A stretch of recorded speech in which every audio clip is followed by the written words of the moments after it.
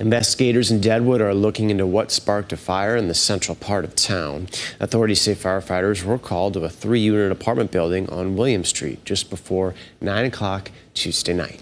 Crews arriving on scene found smoke and flames. Firefighters were able to put the fire out quickly. Crews from Lead, Spearfish, and Whitewood were called in to help. The Red Cross is helping three families displaced by the fire.